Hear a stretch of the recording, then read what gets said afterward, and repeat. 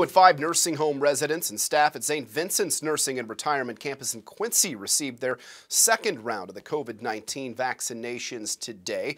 Administrator Danielle Boating says about 50% of their staff and now 90% of their residents have received the Pfizer vaccine. That's about 49 staff members and 46 residents. She says that she does expect more will follow suit.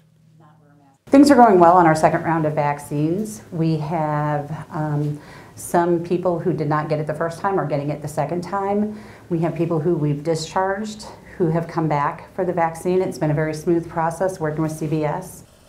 Meanwhile, Sunset Home administrators say that they received their first doses on the 5th and will administer the second round of vaccinations tomorrow. Then Good Samaritan administrators say they got their first doses on the 16th and expect the second dose at some point in February.